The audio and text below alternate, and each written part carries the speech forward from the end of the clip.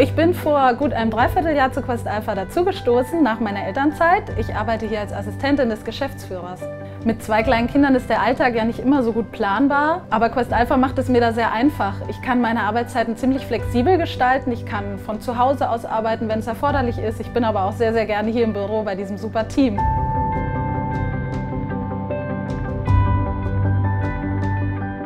Bin seit sieben Jahren schon im Unternehmen und äh, von Anfang an bei Quest Alpha mit dabei und jetzt bin ich im Projektmanagement und Controlling.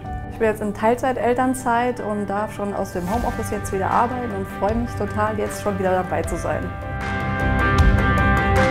Aktuell arbeite ich in Teilzeit, ich kann mir aber sehr gut vorstellen, in ein paar Jahren meine Stunden zu erhöhen und vielleicht auch wieder Vollzeit einzusteigen.